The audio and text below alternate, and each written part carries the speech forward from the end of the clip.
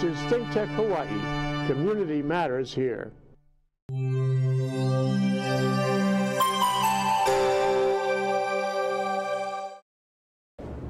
Okay, we're back. I'm Jay Fidell. We're live. I'm here in the Think Tech studios, um, and we're calling this Life in the Law. It's a very important law discussion.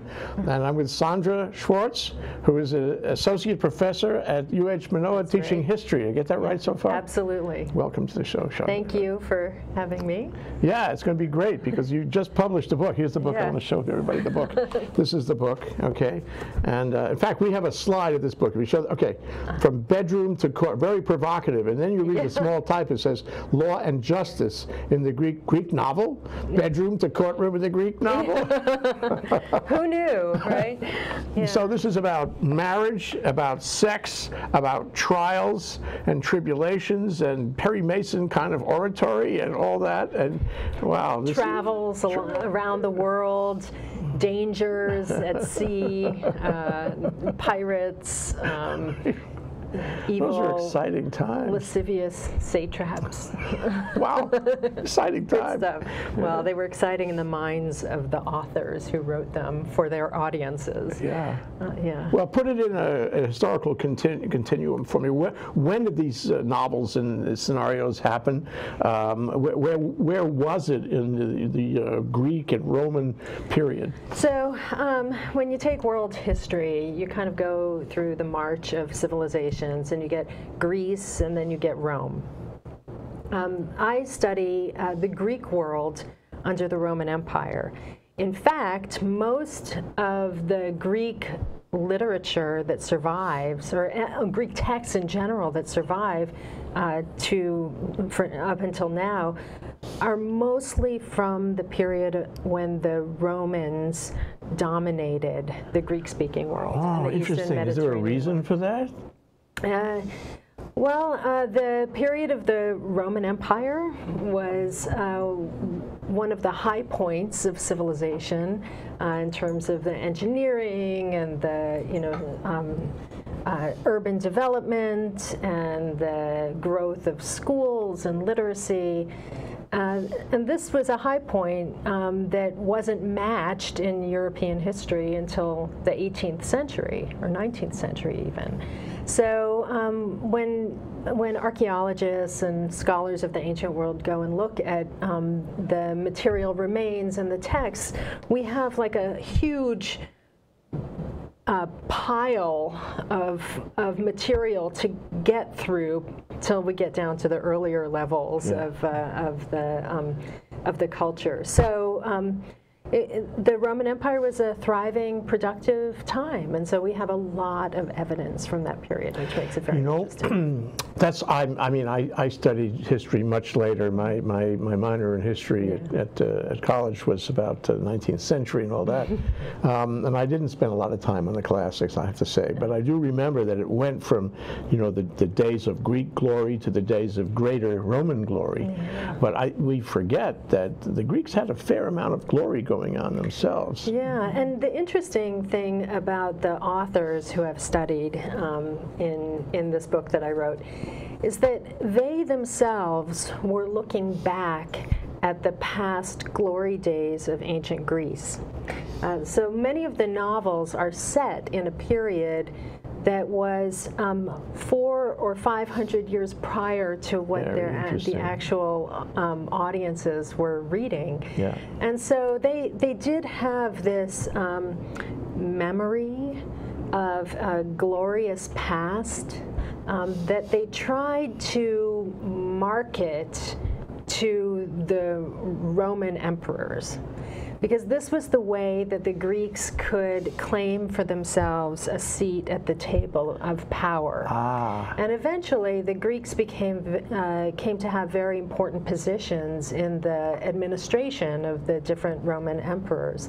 And so um, and and the Greeks were very clear about um, reminding the Romans that the Greeks, the glories of ancient Athens, really preceded, you know, the glories that the Romans. Yeah, yeah. Good for them, um, you know? yeah. This reminds me of a point that's been a thread this week, and that is, uh, you know, Hawaii's great contribution and potentially its greater contribution going forward is its art, its culture, its, its, its indigenous and local uh, intellectual property. Right. Uh, and it sounds to me like what the Greeks were selling to the Romans in order to get that leverage was we have a great artistic, literary tradition. So listen to us, we have a certain amount of wisdom Absolutely. to offer you. Absolutely, and if you go, you know, look at the famous archaeological sites from um, uh, Greece and Rome, you see that the emperors were willing to throw tons and tons of resources to these Greek cities in the Eastern Mediterranean to rebuild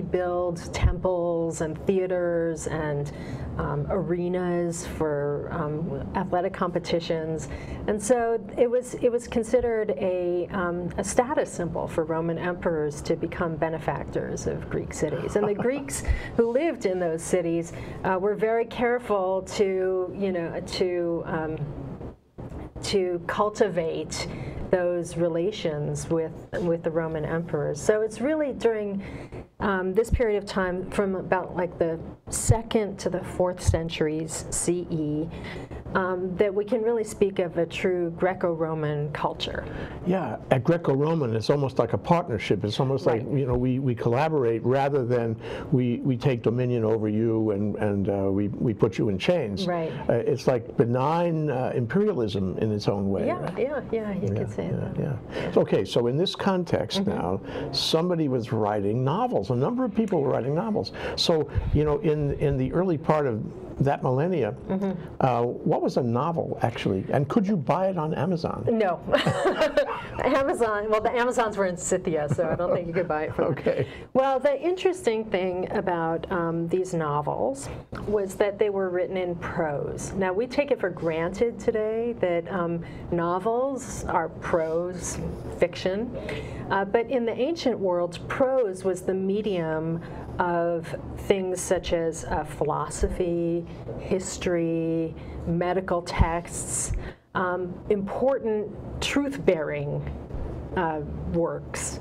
Um, so at some point in time, we don't know exactly who started it. Um, one scholar of the ancient novel said that you know the novel, the ancient novel was invented on a Tuesday in July.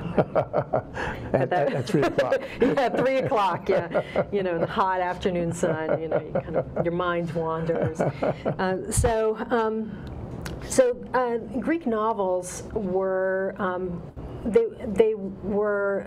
Uh, I should say, classic classical scholars were aware that there were these Greek novels floating around, uh, but most classicists kind of pushed them aside as not very serious literature. Uh-huh.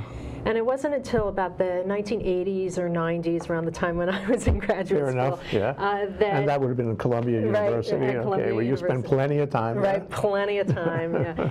uh, and um, and so many uh, classicists just ignored these Greek novels uh, because, frankly, um, the plots of the novels are very corny. Interesting.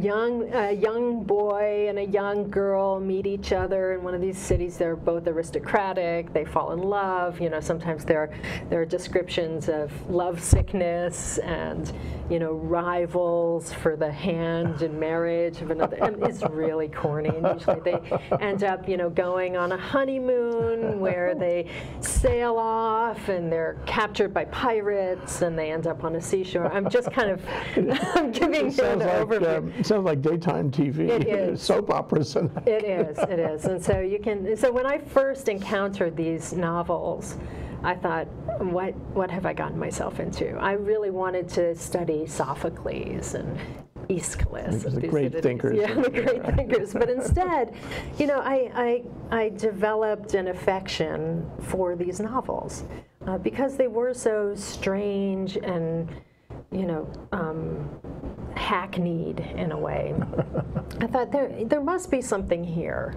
Uh, so because they're written in prose, uh, ancient audiences received them as being somehow real stories.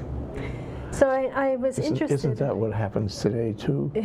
You know, it's it's art imitating life, imitating art, Right, and all that, and right. people get a little confused about which is the real one. They, and and uh, and some people were quite quite threatened uh, by this new genre of writing fiction in the form of prose. Now, of course, in Greek literature, there were stories that were fictional, um, um, but those were mostly in uh, they were written in in.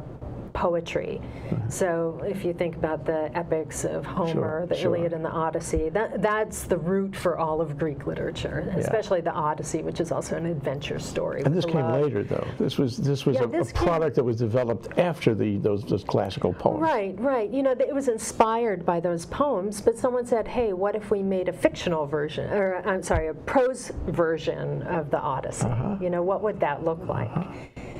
So, um, What strikes me about this Yeah. is that, you know, who knew from a novel? Who knew?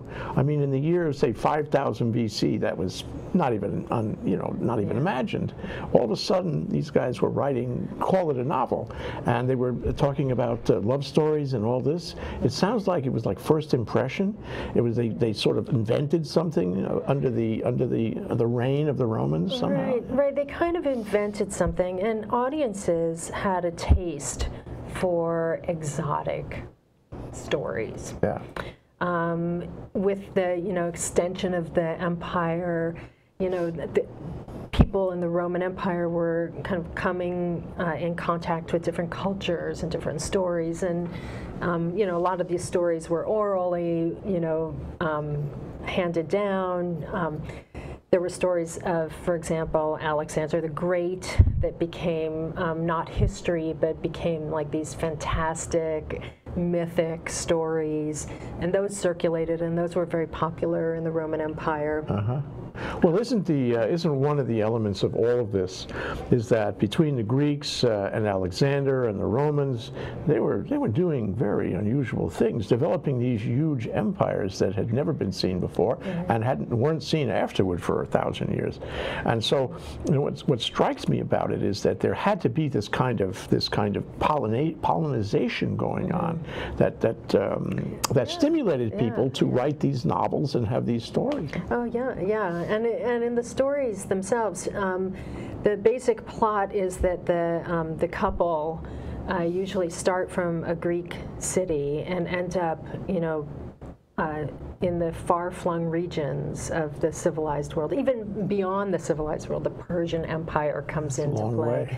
Um, Egypt, um, uh, Meroe, which was uh, the famous capital of Ethiopia uh, in the ancient world, and and so all of these, you know, stories about you know going and traveling and meeting strange, exotic people who don't speak your language. Well, sometimes in the stories, you know, magically the king of Meroe speaks perfect Greek because you know that's the language of culture. So what king wouldn't you know be cultured? kind of a cultural travelogue we have here. It's part of the assimilation process. Yeah, yeah, but it's not real. That's Yeah, the yeah, thing. Okay. It's it's completely um, made up, and um, these novels were were very much created um, to reinforce Greco-Roman culture and ideas. Ah, so there was a, a method about the madness. Yeah, yeah. I don't know how methodical it was, but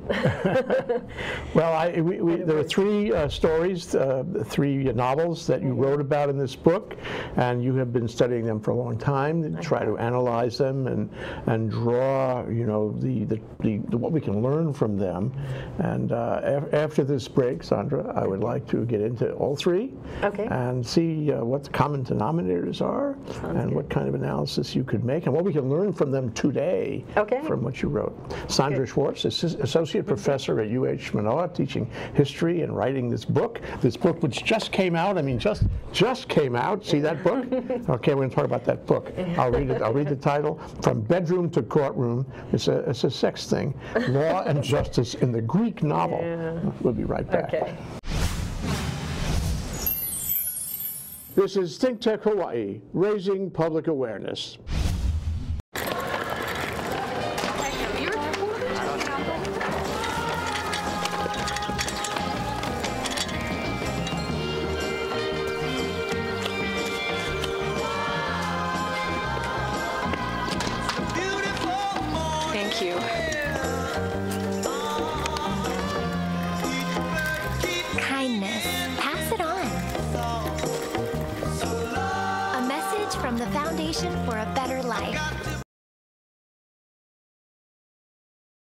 All week for the day of the big game. Watching at home just doesn't feel the same. One on the list is who's gonna drive. It's nice to know you're gonna get home alive. Plan for fun and responsibility. Choose the DD. Captain of our team. It's the DD. For every game day, assign a designated driver.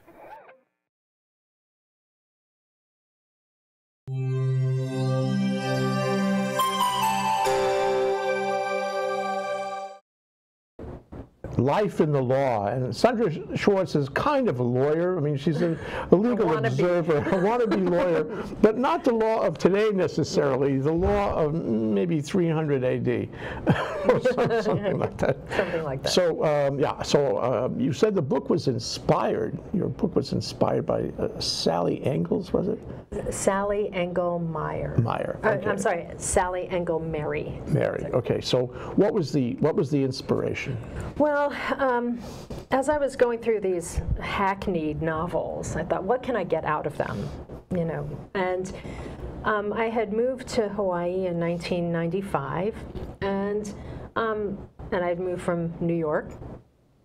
Uh, and when I moved here, I, it dawned on me that this was what um, colonization looks like. Because you don't necessarily have that in New York. The colonies are buried long, long, uh, deep. And so I found this book by Sally Engle Merry called Colonizing Hawaii. And I read it with great interest because she talked about how the um, uh, indigenous Hawaiian legal systems uh, interacted with the col- colonizing power. And once I read that, it just clicked in my mind that um, Greece was a colonized power by Rome. Yeah. And so you have a system where um, there are overla- overlapping jurisdictions. Yeah. And with that, there's a lot of potential for, um, for uh, conflict. And change. And change, right, and uh, uh, acculturation as well. So, um, so that that book, paradoxically, um, made me rethink the way I was looking at these trial scenes in these novels. So each of the novels that exist in their relative totality has at least one trial scene. Uh, ancient audiences had a hunger for these trial scenes. It was probably, it was definitely part of the culture of living in a city in the Roman Empire. Uh, there were trials that were being put on every day. Trials were typically um, typically occurred in you know porticos or public spaces. These were public trials. Oh yeah, yeah. They were public trials, and they would attract large audiences. We have, you know, evidence of you know people milling around um, the courts just to kind of see what the gossip was, or what was new, or what the scandals were. And sometimes you know the crowds would get rowdy, and and so it was kind of a an, a, an aspect of urban life in the ancient Yeah, world. Yeah, and they were finding their way to a, a law system, a system of laws, where they could, you know, uh, take problematic issues and discuss them in public and have oratory about it. It was like the beginning of what we have now, almost like. right. Right. And the interesting thing uh, with these novels is because they're romance novels, there there's a lot of um, episodes of you know rape or you know adultery or all these lurid sensational crimes and i mean this is part of of the you know of what ancient audiences expected to see Yeah. now the interesting thing was that in um, in ancient greece in like the fifth century the greece of pericles uh, women were relatively secluded. That is, they, they didn't really go out and mill around in public that much if they were respectable women. This is the fifth century BC or BC, AD? BC. Okay. And um, the Roman Empire, the uh, Roman culture had a different attitude towards women's participation in public. Um, in in ancient Roman families, uh, first of all, uh, there was a value placed on on daughters. Because daughters could be married off to allies, you can make marriage alliances, and so um, Roman women had a little bit more authority and control over the family and the households, and sometimes got involved with, in politics in Rome. Uh, so, um, It's part of that same acculturation. It's, it's, It's it's, that- positing two cultures, Right. seeing what comes out of it, and then writing about it so people could under, and they could see into the into the, the arena, so to speak, of a trial. right. And I can see why you get very interested in this sort of thing. yeah, really. it's kind of it's a weird. And thing. then these these novels have pretty sexy uh, and personal kinds of stories. And uh, th- th- do the novels announce the result? Did they tell you how it came out? Uh, well, yes, sometimes. I mean, these aren't real trials, mind you. Of course. Um, so the the trials have to. The trials are trial scenes are wonderful mechanisms for tying up loose ends at the end of a story. And in our culture, you know, you don't have to look very far to go to the movies and see trial scenes all over the place. We still have that hunger. Sure, we do. For you know, competing stories Yes. with a victor and a loser. Yeah, sure. end. Like a gladiatorial contest. No? Yeah, yeah, There's a actually. similarity there. Yeah, yeah. Some disputes could be settled with a gladiation, that's for sure.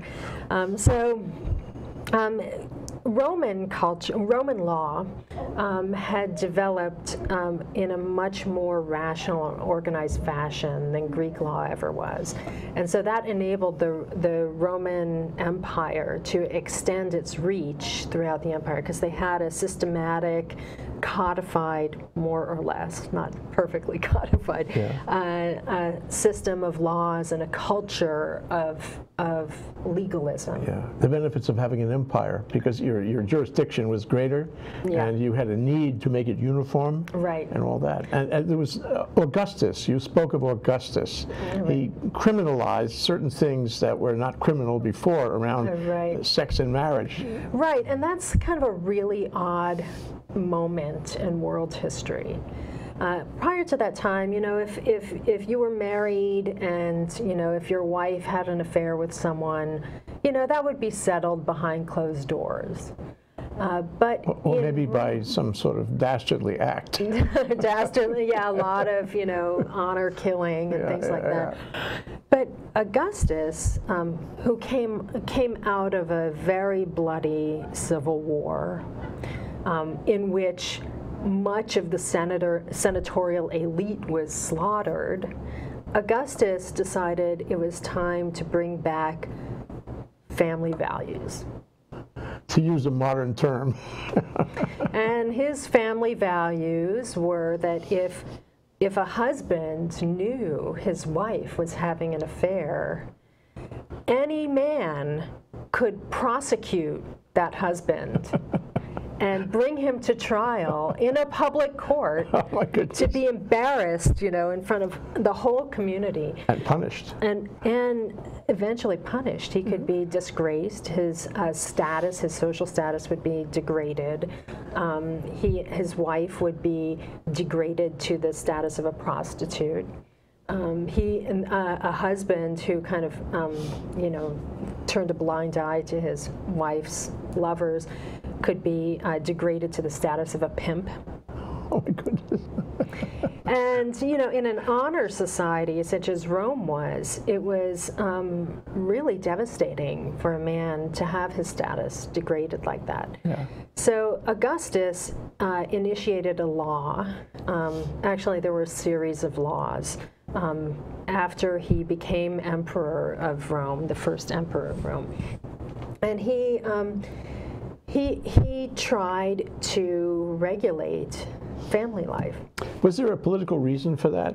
Was I mean, aside from the, the morality of it, was there a reason in terms of governing that he needed to advance? Yeah, well, it was always a good idea to have a threat to hold over the elites. It wasn't actually for social stability as much as having control. No, you know, I mean, pro, uh, le, uh, laws like that, you know, that govern family values and morality, cut both ways. And um, and Augustus tried to um, rein in the the aristocracy, the senatorial elite, um, by uh, threatening them. It was a control thing. It was a control power thing, right. Uh, He- and they were probably doing plenty of this within the senatorial elite. Right, yeah. right. One of the interesting things was that Augustus allowed women who had given birth to three children um, their legal independence. So women traditionally in Rome had to have a guardian, a male guardian, to transact their business. But a woman who had three children um, could transact her own business in. Emancipation. yeah, she was emancipated, and uh, and so. Um, I mean, there, there are questions about whether that actually was very effective. Some people think Augustus was concerned about the depopulation of Rome, but that may have been a myth. Well, you know, this, this all suggests to me that not only, you know, did we see, we, we have to look at this, I'm sure you do, uh, through the lens of history. We have to see it where it existed, what the factors were, what the sea changes and the evolutions were, you know, socially, historically, militarily, um, and, and especially with regard to the empires that were that were emerging and or or, or declining at the time. Uh, really interesting history lessons. So you can learn history through a novel. You can certainly learn it when people are making making advocacy in their orations in the, in the trial Right. parts. So you analyzed all three, and at the end of the day, I mean, I think it's useful. Uh, it may be very classical, if you will, but it's very useful. So we have it. We have it. We have the book Mm-hmm. that came out, and I wonder if you could read a piece just to, so we can sort of taste your prose. May I use that term? Sure, I'd love to. Okay, so this is just for my introduction. Okay, in ancient Greek and Roman culture, marriage was traditionally an institution for the propagation of patrilineal bloodlines, particularly when property was at stake. This was true at least among the elites whose perspectives are so disproportionately represented in the surviving literature from antiquity. At some point, however, there arose the concept that mutual love and fidelity ought to be the foundation of marriage. This ideal is espoused in a genre known as the Greek ideal romance or novel. The five extant novels that have survived in full present a model of normative sexuality. They typically begin when a boy and girl fall in love, undergo a series of adventures that test their love for each other, and end with their blissful union or reunion in marriage.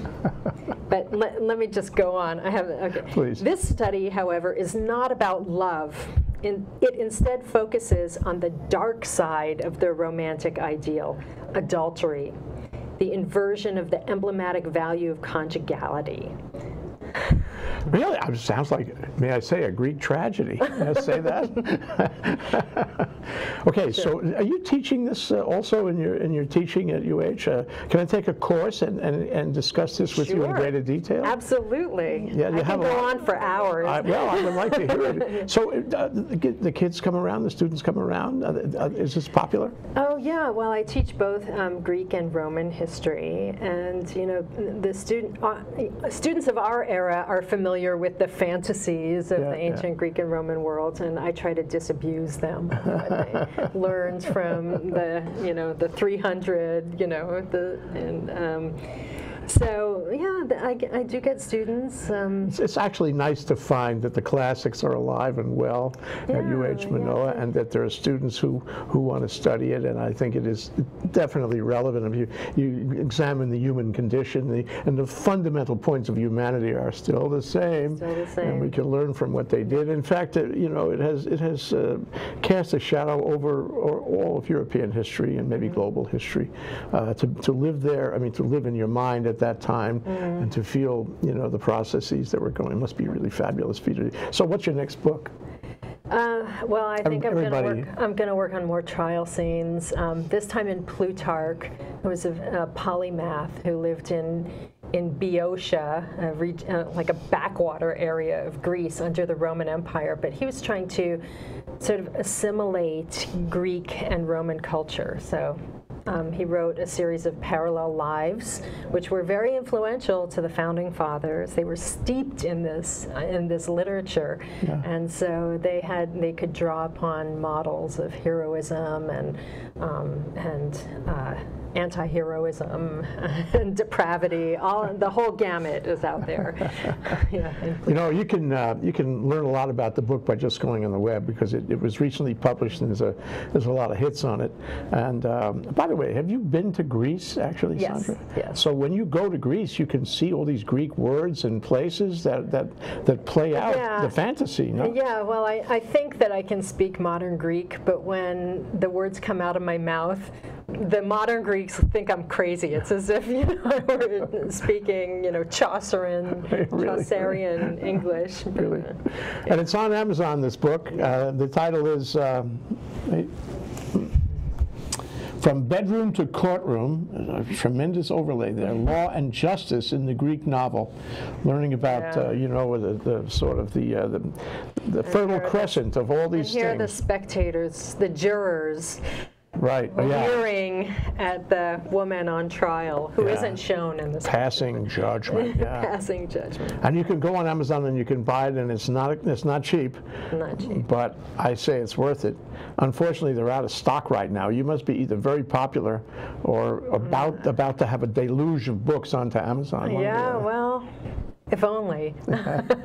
So, what would you say to people as to why this book is relevant in our time?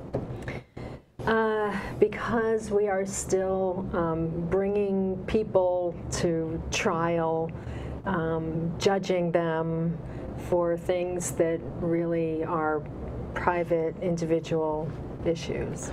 Ah, I see. Had it not been for what was going on in Greece under the Roman Empire, maybe we would have had a completely different view of that today. Yeah. Thank you, Saundra. Saundra you, Schwartz, Jay. Thank you Associate very Professor, much. UH Manoa History. You know where I am.